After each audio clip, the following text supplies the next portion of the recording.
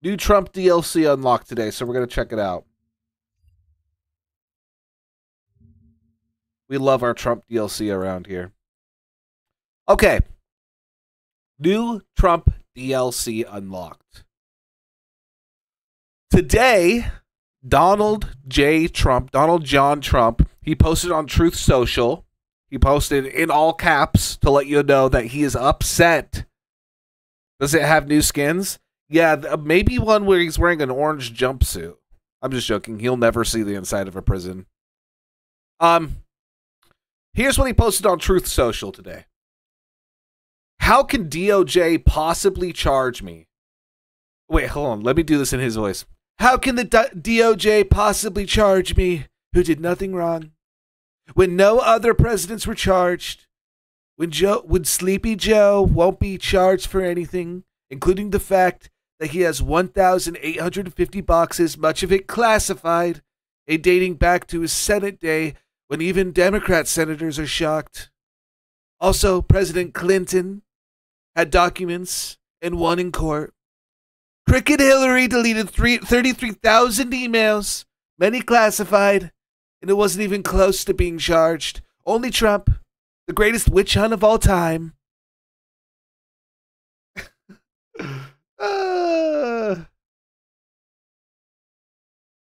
I did not see the the, the uh, documentary um, that Elon promoted. By the way, Patrick, I did not. Uh, so he is talking about how upset he is that the G- DOJ is looking into him right now.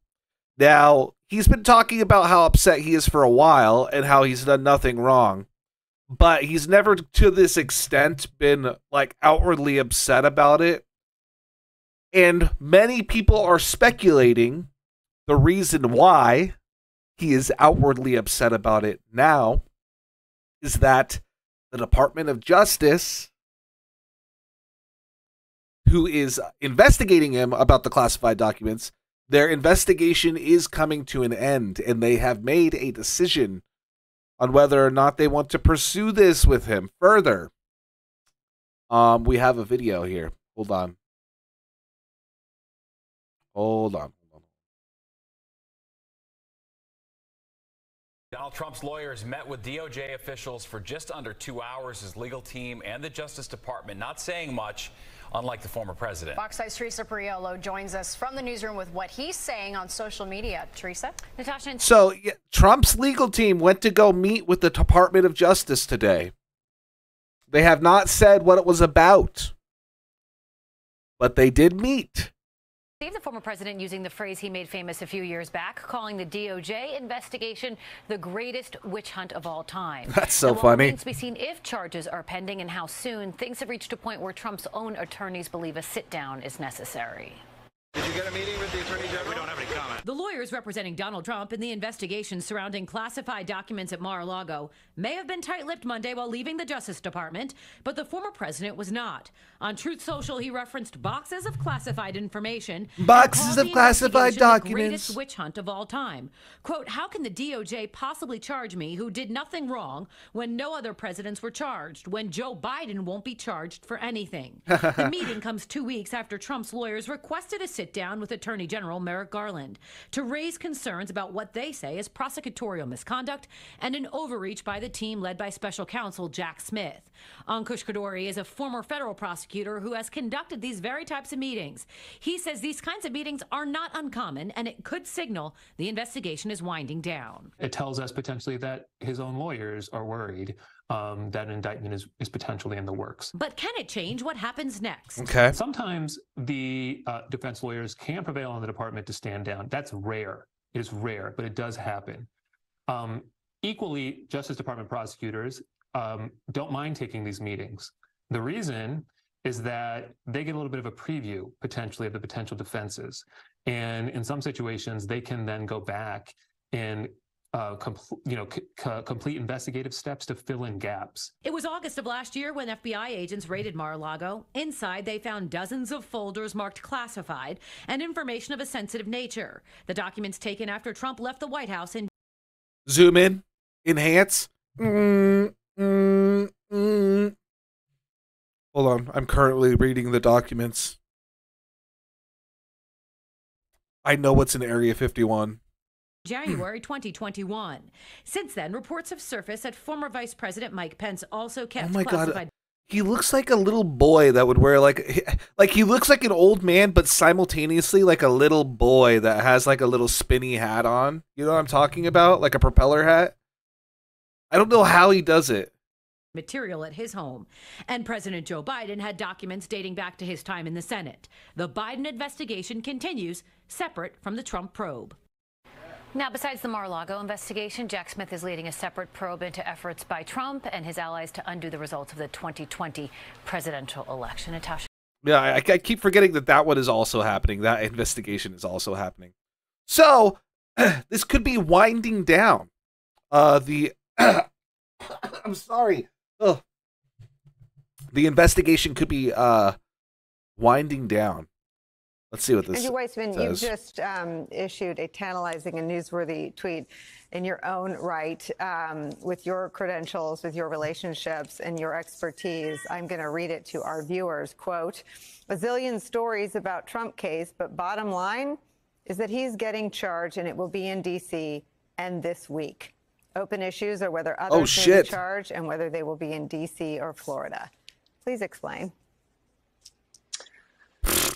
She's is she mad about that or what's going on? I've ne- I am I weird but or, or am I wrong by thinking that was weird? Please explain. Usually people are like, "Oh, can you tell me what exactly you mean by that?" or uh what tells you that this is true or something like that. Please explain. Sure. Well, first, it is really typical to see what we are seeing in terms of Donald Trump's counsel going to the Department of Justice. We saw the same thing when we were looking at the Manhattan DA's office. That is, that prosecutors in cases like this, um, where there's no need to nab the defendant because they're in the middle of committing a crime of, or a violent crime where they're fleeing, they give defense counsel an opportunity to be heard. Um, and to make any and all legal, factual, discretionary arguments as to why there should not be charges. Um, and so here, especially if the reporting is about the attorney-client privilege, I mean, that's just never going to stop, uh, you know, anybody from, you know, finding that the charges are appropriate because here a judge has approved what it is that happened here. Um, and I should point out the current Solicitor General of the United States worked on the Mueller investigation where the exact same thing was done in front of the exact same judge. So I just think that's going to be a loser. It may be something they're arguing uh, in order to make a political point later. Um, Okay. and so we really are seeing what I always view as the harbinger of, uh, you know, cases Yeah, I'm not watching 10 minutes of this guy's bad internet connection. Anyways, what he's saying is um this is very much an indication that they are looking to indict that they will be winding down their investigation soon and preparing to uh to uh release charges. Um he says charge this week. We'll see. I'll keep everybody update if updated if that does happen. I don't I don't know if it's going to be that fast or not. I have no idea. I'm not an expert on this. But I mean, it will be funny. It'll be good content, but it's also important to know that uh it doesn't mean uh anything basically. Uh because the way the court system works it's very slow and there are no legal reasons why that would there are no legal reasons why that would deter him from running for president. Also, a lot of people are like, "Well, what, how will it affect his uh, candidacy candidacy for presidency?" It won't. Uh, the you, it doesn't matter if you're under investigation for something. There are only there are three requirements um for you to run for president. Only three, and I and I know and I know this fresh because I looked it up today because I'm like, is there anything? Is there any weird, weird reasons? And I was surprised to see that there are only three. You have to be born in the United States, over 35, and you have to have lived in the U.S. for the last 14 years. That's it. So that's not going to stop him from running for president, um, or or anything. And because the the court systems are so slow, um, I doubt that he'll even be, you know, mucked up by having court and shit while he's trying to run.